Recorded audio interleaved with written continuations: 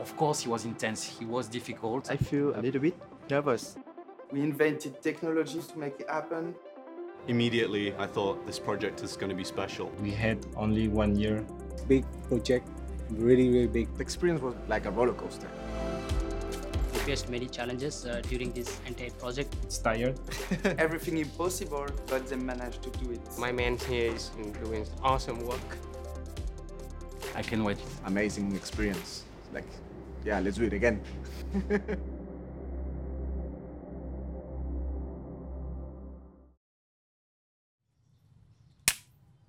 Okay, it's been what, one year? Yeah, yeah, a year. A year that we are working on a Secret project. secret project for kids. Name Applaydu. We are super excited. Yeah, very exciting. A lot of stress, but a lot of excitement in the whole team.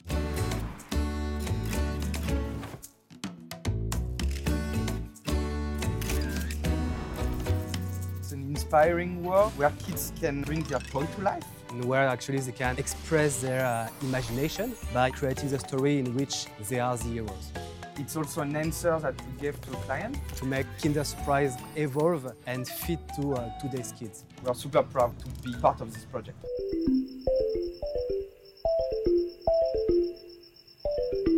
Applaydu is a human adventure that has been developed by a team of 50 talents located in here in Gameloft Saigon, uh, which is one of the biggest and uh, historical studio of the company. Yeah, if you don't know Vietnam, it's one of the most beautiful countries in Yeah, the you should know it. It really favors discovery, travel, and creativity. The main strength of Vietnam is they are the most optimistic population in the world. Everything is possible in this country thanks to its uh, people. Ho Chi Minh has become really quickly dominant IT hub with a lot of international talent, like what we have in our team. The team is totally at the image of, uh, of the population in Vietnam. huh? They are young, they are full of energies. It's an international team huh, because we have up to uh, nine nationalities, people with different backgrounds, different cultures, but that share the same energy, the same team spirit, the same mindset, and the same can-do attitude in front of uh, obstacle. And it's priceless actually for us.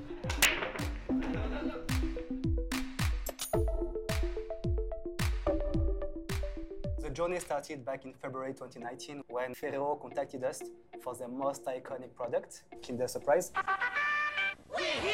New teeny terrapins from Kinder Surprise. We're The Teeny Terrapins. The team was so excited because at the end we are talking about the toy, about the chocolate that we all grew up with. I remember me as a kid, was the magic that has this commercial. I remember also some uh, iconic collection like uh, the turtle and uh, wanting to, uh, to collect them all. One surprise in three as a teeny terrapin. You might just find them among the many new surprises in Kinder Surprise. Kinder, it's an iconic product that has been created 50 years ago. It has a great recipe that has not evolved over the past 50 years, but that remains powerful and successful. The thing is, over the past 50 years, kids evolve a lot. They change drastically. Uh, kids today are born with new tech, with internet, with smartphone, with streaming. And this project, and Applaydu, uh, is actually a way to adapt the Kinder strategy in order to fit this, uh, these new kids. And this is why they contacted us because they wanted expert in digital, expert in new technology, and uh, expert in playful experience for kids. And they pick us Gameloft, which is for us a great choice because yeah, we've been in that field for the past 20 years.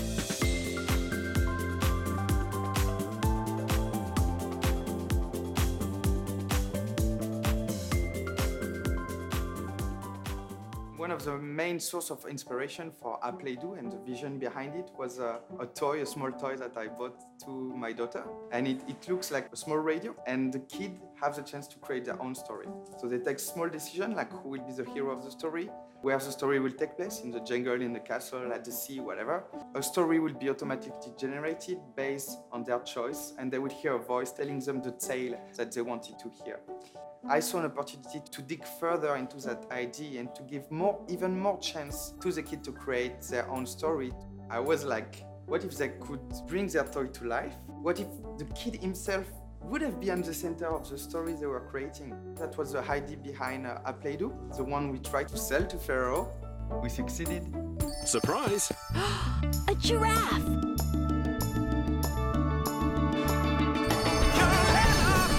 Journey starts by bringing their toy to life. Thanks to augmented reality, kids can now become friends with their favorite toys and uh, interact with them and even take pictures with them.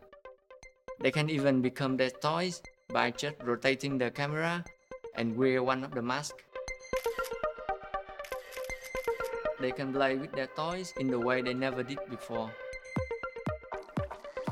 In Applaydu, there are more than 200 playable toys, in more than the first Pokemon game.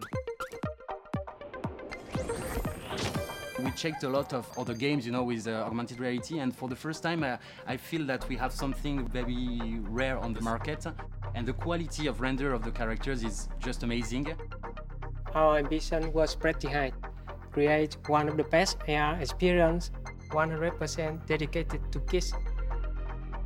Today, AR is only accessible via social media, forbidden for kids, high-end device, too expensive for them.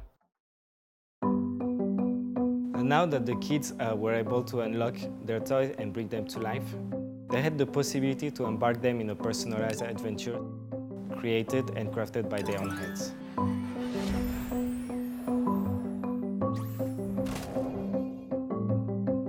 Kids are indeed making decisions and actions that will influence the outcome of the stories. Through the procedural narrative tools that we have created, there are literally thousands of different stories that can be created and read at any moment, like a book. The stories are personalized with the kid's name and avatar and are illustrated with all the kids' decisions that they have made in the adventure mode. We try to make sure that the parents will read the, the stories that the child previously made. It can become quality time with their parents. He comes to you to read the story. So it's a great moment, like boost their imagination.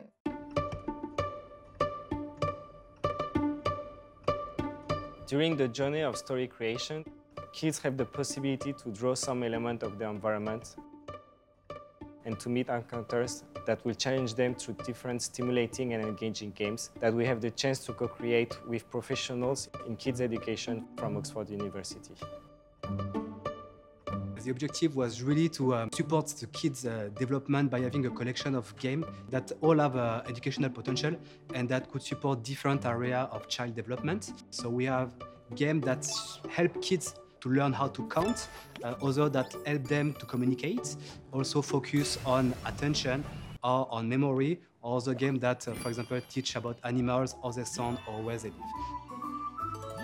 We are talking at the end of a huge, very broad audience of kids between three to six years old. And it's very ambitious because uh, a kid of three has a very different level of development than a kid of six years old. And even two kids of the same age may have a different level of development. The way to make a game that works for every of these age ranges, finding the balance between uh, how complicated or how, how easy you make it for the different ages, I think for sure that was one of our biggest challenges. What we had to do was to create an adaptive difficulty and ensure that each game has its own level design and that the difficulty will adapt based on the previous playing session of the kids. Indeed, but our main target, as we are Gameloft, we wanted to create activities that are just fun, so the kids can learn while playing. One of the biggest challenge we had in pre-production was to establish the rules of user interface and user experience because very young kids don't understand abstraction, they don't understand iconography, they cannot materialize what is the structure of an application like adults do. They don't do multi-touch pinch to zoom. So the navigation needed to be super simple. Also, kids really like to explore, so we needed to have a playful approach that rewards their curiosity. We're not introducing lots of text and we're doing everything visually. We needed to be super interactive, super intuitive with animation, bright colors, super cool visual effects and sounds.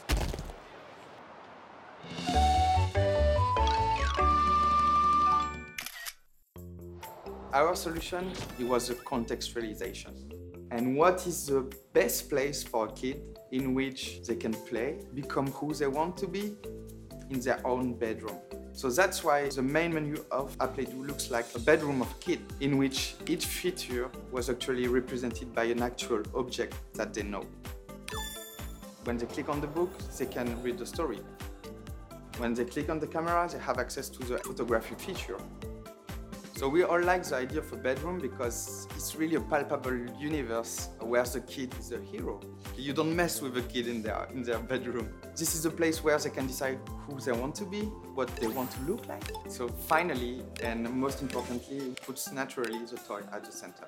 And we managed to make it as big, thanks to camera perspective, as the kid in the background. It's actually adding more value to the relationship between kid and his toy. What we want in the end is not that the kids spend hours in Applaydu. We want them to play further after the digital to come back to that toy that is more meaningful to them right now, that they have a story, that they spend moment with him. That's what we aim with digital. That's the funny thing about it. Hello!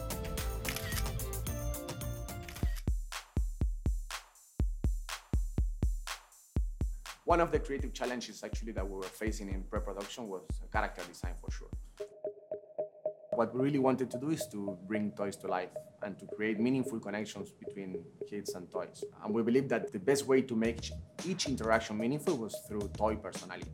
How rewarding they are when they connect with the kid, uh, when they get surprised, or they laugh, or they fall. And it's not like a real life, some real animal, but we find a way to make everything like a combo, a, Applaydu world.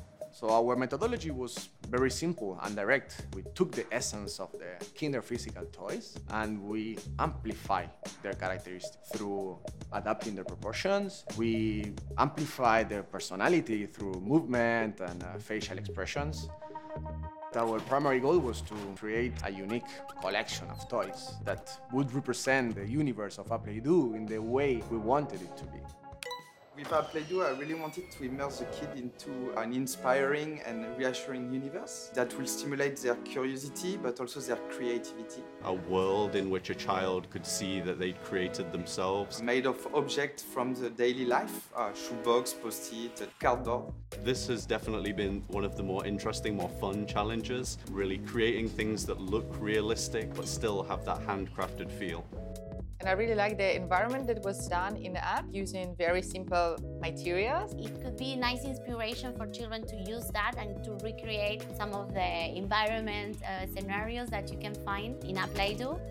In the end, we want to inspire the kid to do the same at home, to use everything that surrounds them in the house to build their own environment. Sometimes we are giving the device to the kid, but when you give to the kid, you are responsible for what your kid is doing with this device. So you are choosing and guiding him how he spends this time. So it was important for us to quickly uh, show them what Applaydu. First, a safe environment without any ads, violence, uh, in-app purchase, but also a content that could improve the development of their children, as they will become the main ambassadors of Applaydu. This is also a tool to create new opportunities between parents and children to create bonds through the application, but also beyond the application. I feel safe about it. As a parent, I can follow what my child is doing, how she's playing. If you wasn't with the kid in that particular moment, it's nice to discover uh, use things with your kids and see how the kids work. We had the opportunity to work closely with Oxford universities and they help us to boost the educational potential of some of the features of the applications. And that's why it was important for us to get some prestigious recognition that parents could trust. And now Applaydu is officially uh, KidSafe certified and got the educational app label. A few days ago, Ferrero shared with us the final TV commercial that will be broadcasted in 40 countries really, really soon. It was emotional because it was the, the, the same DNA of TV commercial from Kinder that I was watching when I was kid. And uh,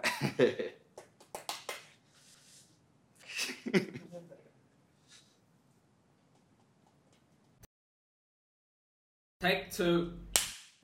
I can't believe we, we were part of it. I'm super proud we were part of it. And the team did an amazing job. We did it in less than one year, much shorter than any Gameloft game. And the guy started from a blank page with a crazy idea that I have. It will kind of change the way we see things, we do things, and we learn things. All sitting together, working together, trying to find the best way of uh, going from concept to completion. It's kind of fantastic project for us. Like uh, in this experience, we learn many things. Ups and downs, coming, rushing, getting to the point, and in the end, super happy. And I'm very proud to be uh, part of our team. And when you think about it, I don't remember any application that has TV commercial at launch. I think it would be huge. I grew up with Kinder. Now it's like a different way of using Kinder. I trust it. For the first time now, you have the opportunity to keep playing in digital with your toy, and I think it's, uh, it's pretty cool. When the kids see it, they will love it. Make the kids play a little, learn a lot. I really see it integrated in the family moments and it's part of your family.